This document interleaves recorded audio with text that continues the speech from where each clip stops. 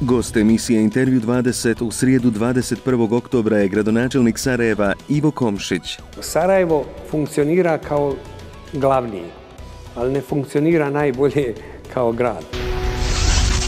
Odmah ovdje da kažem, ja znam šta će neki kazati. A ja, ako bi građani bili e, e, gradonačelnika, onda bi gradonačelnik uvijek bio bošnjak. Ja mislim da to nije tačno.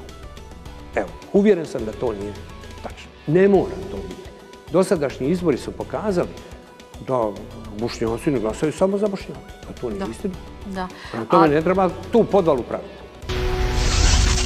Najnovija stvar, juče sam potpisao sporazum sa kantonalnim ministarstvom za promet i komunikacije i sa direktorom Grasa, gdje se pravo građenja žičare prenosi na grad Sarajevo.